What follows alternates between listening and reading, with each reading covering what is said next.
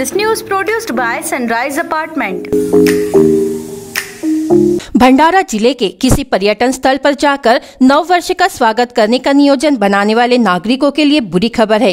इस बार वे पर्यटन स्थलों पर मौज मस्ती नहीं कर पाएँगे। ओमिक्रॉन के खतरे को देखते हुए जिला प्रशासन ने ज़िले के सभी पर्यटन स्थलों पर प्रवेश तथा भीड़ लगाने पर प्रतिबंध लगाया है। साथ ही ज़िले में रात्रि साढ़े आठ बजे के बाद होने वाले सभी कार्यक्रमों पर भी रोक है। रावणवाड़ी कोरम्भी चांदपुर तथा ज़िले के अन्य पर्यटन स्थलों पर अब अगले आदेश तक प्रवेश नहीं मिलेगा। जिलाधिकारी संदीप कदम ने 29 दिसंबर को इससे जुड़ा आदेश निकाला। राज्य में कोरोना के मरीज़ तेज़ी से बढ़ रहे हैं। ओमिक्रॉन के मामले भी लगातार सामने आ रहे हैं। ऐसे में नव वर्ष में कोरोना की तीसरी लहर आने की संभावना बनी हुई है। इन सब के बीच जिला प्रशासन ने अभी से सावधानी बरतनी शुरू कर दी है।